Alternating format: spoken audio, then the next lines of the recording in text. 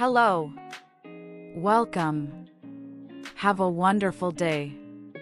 Dear all, today we are learning English for alphabets letter A, B, C.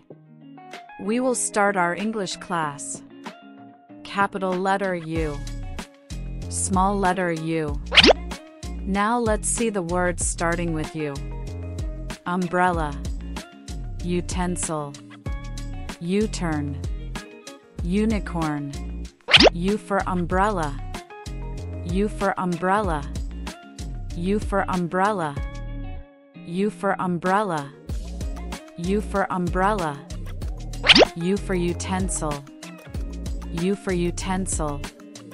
U for utensil. U for utensil. U for utensil.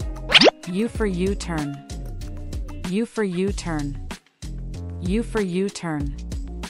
U for U-turn. U for U-turn. U for U U for unicorn. U for unicorn. U for unicorn. U for unicorn.